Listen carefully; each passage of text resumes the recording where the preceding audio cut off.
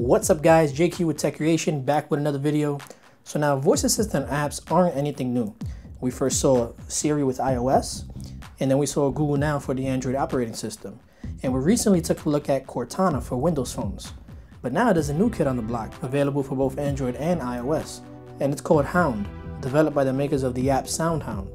So this is SoundHound's answer to the whole voice assistants battle.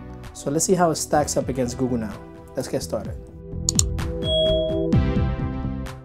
So as I mentioned, this app is developed from the same makers of SoundHound. So currently Hound is in beta and is available via invite only. So once you download it, you have to request an invite code and it takes about one or two days to receive it. This app is beautifully designed. It has a little bit of Google's material design language and the UI elements are gorgeous. It's very simple, intuitive, and it offers basically what you'd expect from any voice assistant. It pulls data from all types of sources, but its basic web search results come from the search engine Bing. So Hound is coined as the natural voice assistant, meaning you don't have to speak in a fragmented or robotic tone because it's designed to have the ability to comprehend a detailed set of commands all at once, none like we've ever seen before. For example, okay Hound, find me the nearest four-star hotel under $400 that has a pool and is pet friendly. Showing 5 results with 4 stars for maximum of 400 US dollars per night sorted by distance that have a swimming pool and are pet friendly. Very, very impressive. Okay, Hound. Find me the nearest Japanese restaurant in walking distance from Times Square.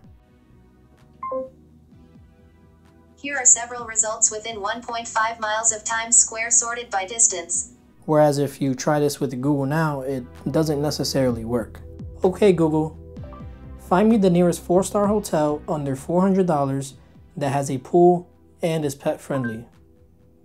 And as you can see, it just cuts me off. It doesn't, it doesn't handle that long of a command. Okay, Google, find me the nearest Japanese restaurant in walking distance from Times Square. Touch the one you want. As you can see, these restaurants certainly aren't in walking distance from Times Square. So I wasn't able to pick up the second part that I asked for. Okay, Hound. What is the monthly mortgage payment for a $500,000 home with 35% down? Is $500,000 the mortgage principal or the home value? That is the mortgage principal. Okay, using a mortgage principal of $500,000, what is the mortgage period? 30 years. Okay, using a mortgage period of 30 years, what is the interest rate?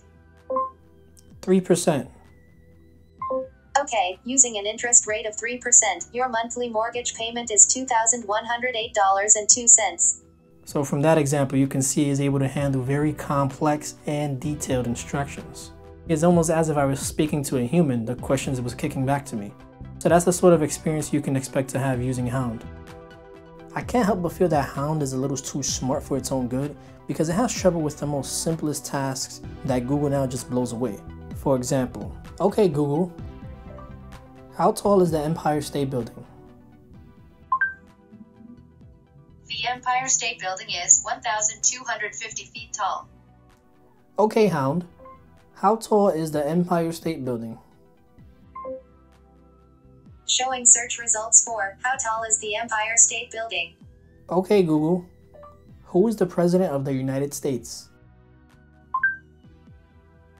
Barack Obama is the President of the United States of America. Okay Hound, who is the President of the United States? Showing search results for Who is the President of the United States? So as you can see from the earlier examples, you would expect Hound to be able to handle such simple commands like this, but it doesn't. Then again, it's still in beta, so give it some time. But this is by far the best beta app I've ever seen, even better than Google Now was in its beta phase. I'm really eager to see how this thing evolves and if we'll even see it baked into the operating systems of future smartphones. I'm very impressed with the algorithms that Hound uses to understand multiple conditions in a single command. Definitely the best I've ever seen. Now, will Hound replace Google Now entirely? I highly doubt it. Only because Google Now has a lot more years under its belt, is integrated well into the Android operating system, and it has a few tricks up its sleeve that Hound isn't nearly capable of doing. For example, if you're standing in front of the Empire State Building, all you have to do is queue up Google Now and say, how tall is this building? And Google Now will automatically know which building you're talking about based on your location. And seriously, that's just scratching the surface of how creepy and smart Google Now can actually be. Alright guys, I'll drop a link below to the Play Store. Feel free to play around with it and let me know how it works for you. And now remember, it's still in beta, so it's on invite only basis. So once you download the app, you have to request an invite.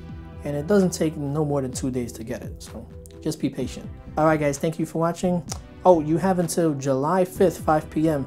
to enter the giveaway for the Moto 360. So if you click this link on top, it'll take you straight to the giveaway and it'll give you all the details you need. Good luck, and I will see you guys next time. Peace.